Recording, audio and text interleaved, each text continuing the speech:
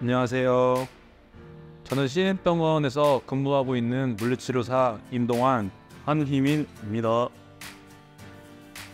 오늘 영상은 오십견 질환을 가지고 있는 분들을 위한 영상으로 집에서 쉽게 할 수 있으니 한번 천천히 따라해 보시면 좋을 것 같습니다.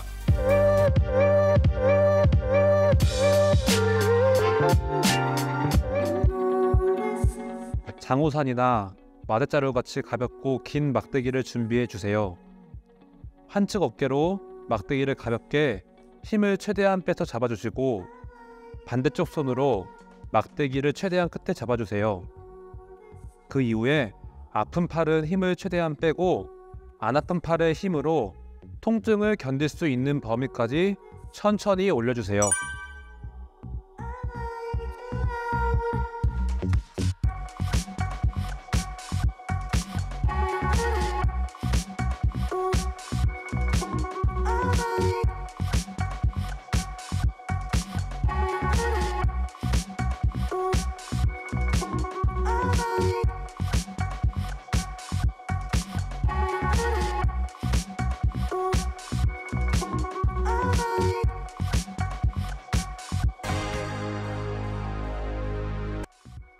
이 스트레칭을 할 때 주의사항은 팔을 올릴 때 어깨를 으쓱하거나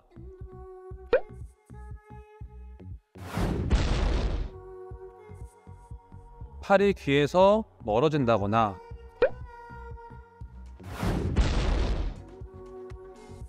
몸이 뒤로 젖혀지는 동작이 나오지 않게 주의해 주십니다.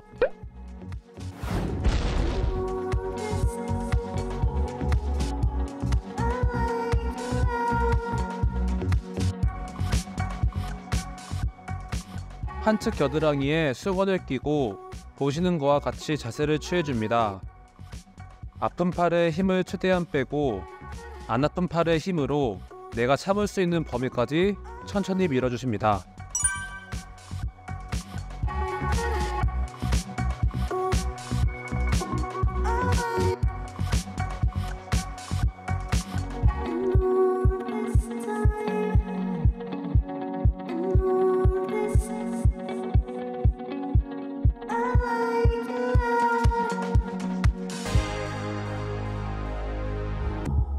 이때 주의할 점은 팔을 밀 때 수건이 떨어지지 않게 해줍니다.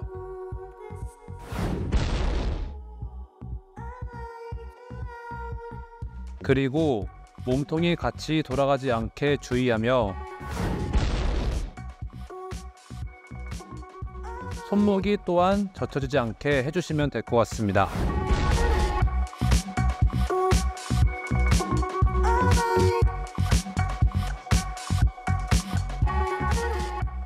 내전 스트레칭입니다.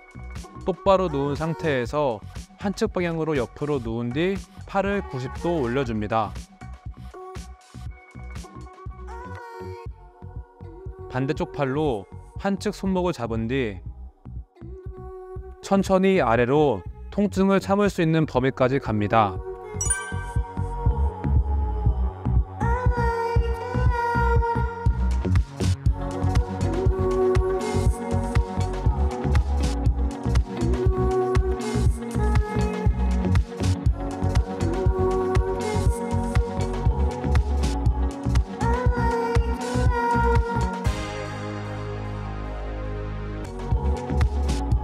이때 주의할 점은 팔을 너무 많이 내리지 않게 주의하시고 어깨를 충분히 고정할 수 있게 옆으로 누울 때 확실하게 누워주면 될 것 같습니다.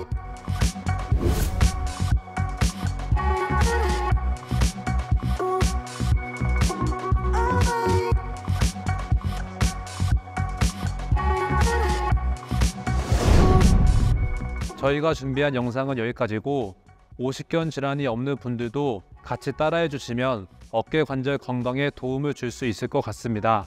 감사합니다.